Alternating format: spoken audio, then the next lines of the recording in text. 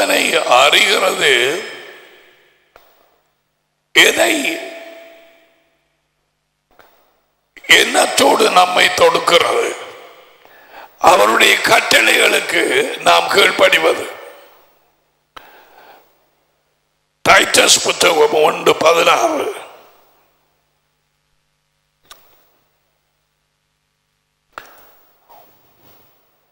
Titus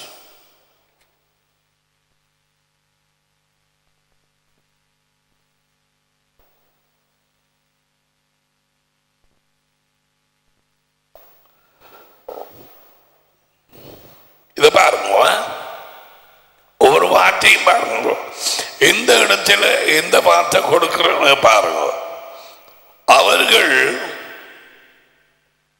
தேவனை அறிந்திருக்கிறோம் என்று பதினைந்து மாசிக்க வேணும் அதோடு தொடுக்குக சுத்தம் உள்ளவர்களுக்கு சகலம் சுத்தமாயிருக்கும். அசுத்தம் உள்ளவர்களுக்கு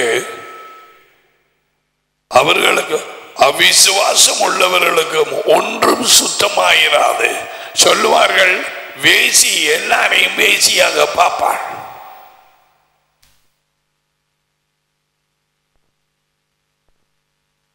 ஏற்கனவே அவள் அப்படி இருக்கிறான்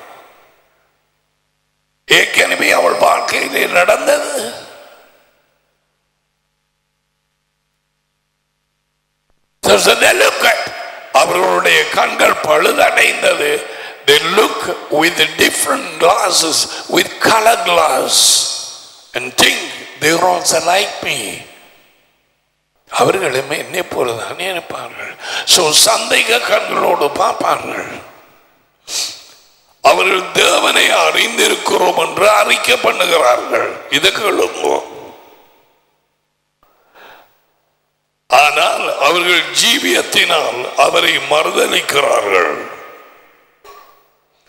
அவர்கள் அருவறுக்கப்படத்தக்கவர்களும் கீழ்ப்படியாதவர்களும் எந்தவித நல்ல ஊழியத்தை செய்ய ஆகாதவர்களுமாயிருக்கிறார்கள். But there's no expression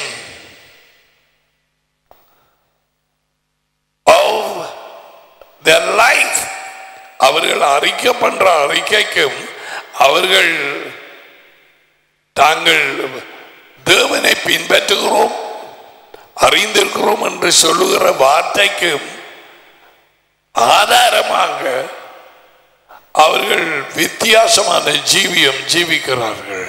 அதான் நீங்க சொல்லுது. கீழ்ப்படியாதவர்கள் அருவறுக்கப்படத்தக்க எந்தவித நல்ல வேலைகளும் செய்யாதவர் ஆகாதவர்களாய் இருக்கிறார்கள் The doctrine is not the end. It's a means to know God better. போதனை முடிவல்ல நாங்கள் போதனை கற்றுக்கொள்கிறோம் தேவனை கூடுதலாய் அறிவதற்கு அவருக்கு கிட்ட நெருங்குவதற்கு Are you?